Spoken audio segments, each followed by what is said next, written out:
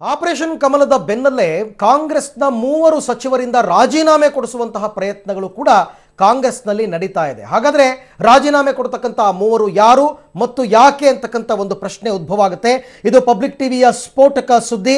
ರಾಜೀನಾಮೆ ಕೊಡ್ತಾರಾ? ದೋಸ್ತಿ ಸರ್ಕಾರದ ಮೂವರು ಸಚಿವರು.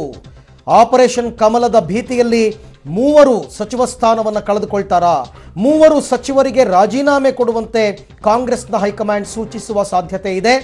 ದೋಸ್ತಿ ಸರ್ಕಾರವನ್ನು ಉಳಿಸ್ಕೊಳ್ಳೋದಕ್ಕೆ ಮೂವರು ಸಚಿವರನ್ನ ಕೆಳಗಿಳಿಸುವ ಸಾಧ್ಯತೆ ಯಾಕೆ ಅಂದರೆ ದೋಸ್ತಿ ಸರ್ಕಾರವನ್ನು ಉಳಿಸ್ಕೊಳ್ಳೋದಕ್ಕೆ. ಹಾಗಾದರೆ ಆ ಮೂವರು ಸಚಿವರು ಯಾರು ಅಂತಕ್ಕಂಥದ್ದು ಸದ್ಯದ ಕುತೂಹಲ. ಮೂವರು ಸಚಿವರಿಗೆ ರಾಜೀನಾಮೆ ಕೊಡುವಂತೆ ಸೂಚನೆ ನೀಡುವಂತಹ ಸಾಧ್ಯತೆ ಇದೆ. ಮಹಿಳಾ ಮತ್ತು ಮಕ್ಕಳ ಕಲ್ಯಾಣ ಇಲಾಖೆ ಸಚಿವೆ ಜೈಮಾಲಾ ಅವರ ಕುರ್ಚಿಗೆ ಕುತ್ತು ಬಂದಿದೆ. ಮತ್ತೊಂದು ಕಡೆ ಲಂಚ ಪ್ರಕರಣದಲ್ಲಿ ಸಿಕ್ಕಿಬಿದ್ದಿರುವ ಸಚಿವ ಪುಟ್ಟರಂಗ್ ಶೆಟ್ಟಿಗೂ ಕೂಡ ಕುರ್ಚಿ ಕಂಟಕ ಎದುರಾಗಿದೆ. ಇವರಿಬ್ಬರೂ ಸೇರಿ ಮತ್ತೊಬ್ಬರು ಒಟ್ಟು ಮೂವರು ಸಚಿವರ ರಾಜೀನಾಮೆ ಕೊಡಿಸುವ ಸಾಧ್ಯತೆ ಇದೆ. ಯಾಕೆ ಅಂದರೆ ಸದ್ಯಕ್ಕೆ ಅತೃಪ್ತ ಕೂಟದಲ್ಲಿ ಮೂವರಿಗೆ ಸಚಿವ ಸ್ಥಾನವನ್ನು ನೀಡೋದು. ಅಂದರೆ ಇವರಿಂದ ರಾಜೀನಾಮೆ ಕೊಡಿಸಿ ಅದನ್ನ ತೆರವಾಗ್ತಕ್ಕಂಥ ಸ್ಥಾನವನ್ನ ಅತೃಪ್ತರಲ್ಲಿ ಕೊಡ್ತಕ್ಕಂಥದ್ದು. ಆದರೆ ಅತೃಪ್ತರ ಗ್ಯಾಂಗ್ ಕಟ್ಕೊಂಡಿರೋ ರಮೇಶ್ ಜಾರಕಿಹೊಳಿ ಮತ್ತು ಉಮೇಶ್ ಜಾಧವ್ಗೆ ಶಾಕ್ ಆಗುತ್ತೆ. ಈ ಇಬ್ಬರು ಶಾಸಕರನ್ನಷ್ಟೇ ಅನರ್ಹಗೊಳಿಸಿ ಉಳಿದವರಿಗೆ ಎಚ್ಚರಿಕೆ. ಅಂದರೆ ಒಂದೇ ಏಟಲ್ಲಿ ಯಡಿಯೂರಪ್ಪ ಪಾಳೆಯದ ಆಟವನ್ನು ಮುಗಿಸೋದಕ್ಕೆ ನಿರ್ಣಯವನ್ನು ಕೈಗೊಳ್ಳಲಾಗಿದೆ.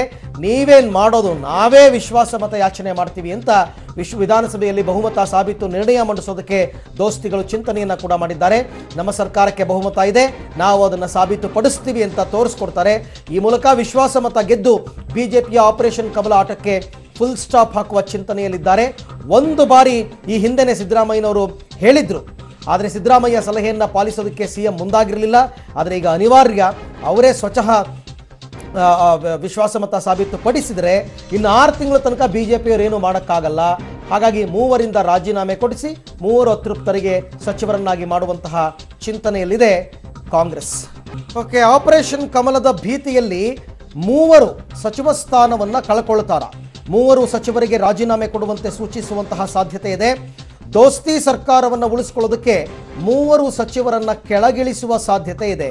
ಹಾಗಾದ್ರೆ ಆ ಮೂವರು ಸಚಿವರು ಯಾರು ಅಂತಂದ್ರೆ ಮಹಿಳಾ ಮತ್ತು ಮಕ್ಕಳ ಕಲ್ಯಾಣ ಸಚಿವೆ ಜಯಮಾಲಾ, ಲಂಚ ಪ್ರಕರಣದಲ್ಲಿ ಸಿಕ್ಕಿಬಿದ್ದಿರುವ ನಟ ಸಚಿವ ಪುಟ್ರಂಗ್ ಶೆಟ್ಟಿ, ಮತ್ತೊಬ್ಬ ಅವರೊಬ್ಬರು ಇನ್ನೊಬ್ರು ಯಾರು ಅಂತಕ್ಕಂಥದ್ದು ಗೊತ್ತಾಗಿಲ್ಲ.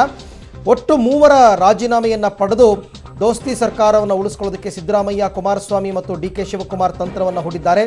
ಸದ್ಯಕ್ಕೆ ಅತೃಪ್ತ ಕೂಟದಲ್ಲಿರುವ ಮೂವರಿಗೆ ಸಚಿವ ಸ್ಥಾನವನ್ನು ನೀಡೋ ಸಾಧ್ಯತೆ ಇದೆ. ರಾಜೀನಾಮೆಯಿಂದ ತೆರವಾಗುವಂತಹ ಮೂರು ಸ್ಥಾನಗಳನ್ನು ಅತೃಪ್ತರಿಗೆ ಹಂಚುವ ಸಾಧ್ಯತೆ ಇದೆ. ಅತೃಪ್ತರ ಗ್ಯಾಂಗ್ ಕಟ್ಟಿಕೊಂಡಿರೋ ರಮೇಶ್ ಜಾರಕಿಹೊಳಿ ಮತ್ತು ಮಹೇಶ್ ಕುಮಟಳ್ಳಿಗೆ ಶಾಕ್. ಆ ಇಬ್ಬರು ಶಾಸಕರನ್ನು ಅನರ್ಹಗೊಳಿಸಿ ಉಳಿದವರಿಗೆ ಪಾಠ ಕಲಿಸುವಂತಹ ಯೋಜನೆಯನ್ನು ಕಾಂಗ್ರೆಸ್ ಹಾಕ್ಕೊಂಡಿದೆ. ಅಂದರೆ ಒಂದೇ ಏಟ್ನಲ್ಲಿ ಯಡಿಯೂರಪ್ಪ ಪಾಳಯದ ಆಟ ಮುಗಿಸೋದಕ್ಕೆ ದೋಸ್ತಿ ಅವರು ತಂತ್ರ ಮಾಡಿದ್ದಾರೆ. ನೀವೇನು ಮಾಡೋದು, ನಾವೇ ವಿಶ್ವಾಸಮತ ಯಾಚಿಸ್ತೀವಿ. ವಿಧಾನಸಭೆಯಲ್ಲಿ ಬಹುಮತ ಸಾಬೀತು ನಿರ್ಣಯ ಮಂಡಿಸೋದಕ್ಕೆ ಈ ಮುಖಾಂತರ ದೋಸ್ತಿಗಳು ಚಿಂತನೆಯನ್ನು ನಡೆಸಿದ್ದಾರೆ. ನಮ್ಮ ಸರ್ಕಾರಕ್ಕೆ ಬಹುಮತ ಇದೆ. ನಾವು ಅದನ್ನು ಸಾಬೀತುಪಡಿಸ್ತೀವಿ. ಈ ಮೂಲಕ ವಿಶ್ವಾಸಮತ ಗೆದ್ದು ಬಿಜೆಪಿಯ ಆಪರೇಷನ್ ಕಮಲ ಆಟಕ್ಕೆ ಫುಲ್ ಸ್ಟಾಪ್ ಎಷ್ಟು ದಿನ ಅಂತ ಬರೀ ಇದೇನೆ. ಹೇಳ್ಕೊಂಡು ಹೇಳ್ಕೊಂಡು ಹೇಳ್ಕೊಂಡು ಸಾಕಾಗಿದೆ. ಫುಲ್ ಸ್ಟಾಪ್ ಇಟ್ಟುಬಿಡಬೇಕು ಇನ್ನಾದರೂ ಅಭಿವೃದ್ಧಿ ಕಡೆ ಗಮನ ಕೊಡಬೇಕು. ಈ ಹಿಂದೆಯೇ ಸ್ವಯಂ ಪ್ರೇರಿತರಾಗಿ ವಿಶ್ವಾಸಮತ ಯಾಚನೆಗೆ ಸಲಹೆ ಕೊಟ್ಟಿದ್ದರು ಸಿದ್ದರಾಮಯ್ಯನವರು ಕಳೆದ ಬೆಳಗಾವಿ ಅಧಿವೇಶನದ ಸಂದರ್ಭದಲ್ಲಿ.